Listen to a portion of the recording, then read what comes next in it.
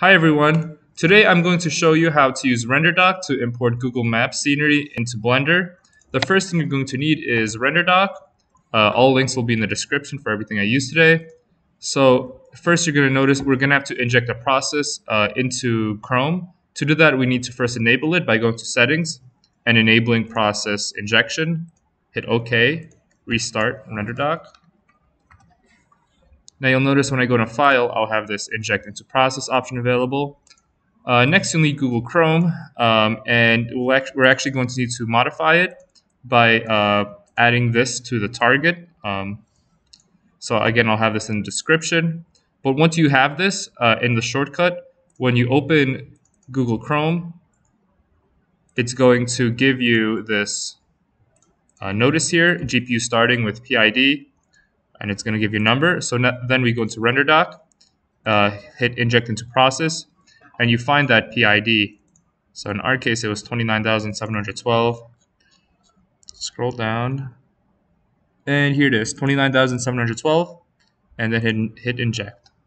So now uh, we can go into, we can hit OK here, and we can go to uh, Google Maps.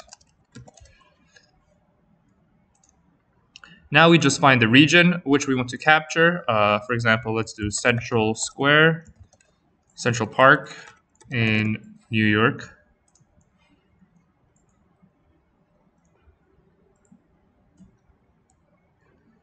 Okay, uh, turn on layers. Minimize this.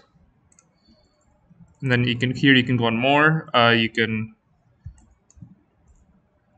remove labels if you want.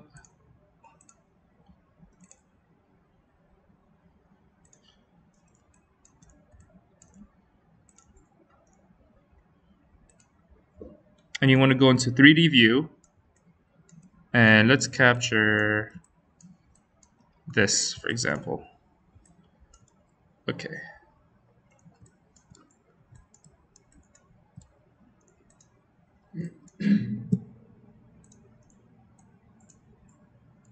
If you do control and mouse drag, you can tilt the view, and this is important for actually capturing um, actually capturing the uh, scenery for RenderDoc. So Alt mouse click is pan, Alt uh, left middle mouse click, and Control left middle mouse click. Uh, control left middle mouse click is orbit. So now we go into RenderDoc, and what I like to do is capture after delay of about three seconds. Uh, this gives me time to go back into the window and start uh, orbiting my view a bit. So just click this, go back, and then just orbit a bit. And you'll notice when it's actually capturing, you'll notice like a little delay there. So now I have it. Uh, double click it to load the capture. And if you go into the texture viewer, you'll notice all we have all of these different passes. So then all I need to do is just go to File, Save Capture As, and just make a new folder for it if you'd like.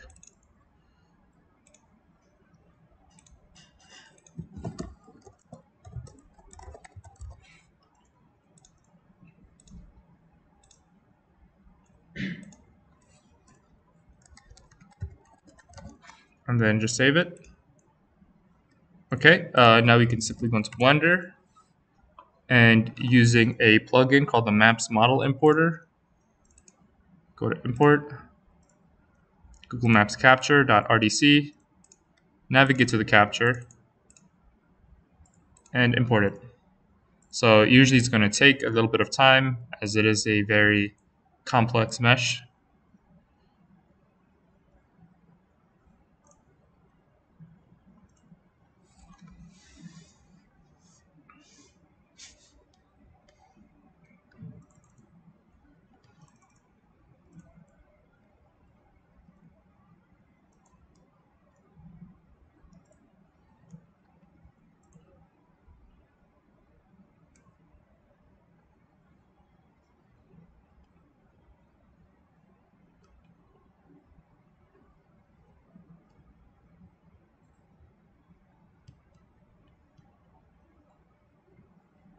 And there it is.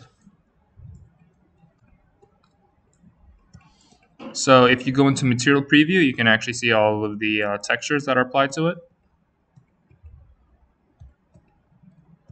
And yeah, that's pretty much it. Uh, in my other videos, I explain how to uh, refine it a bit, as well as create a high to low poly bake of it. Okay, hope you found that helpful, and I'll see you again soon.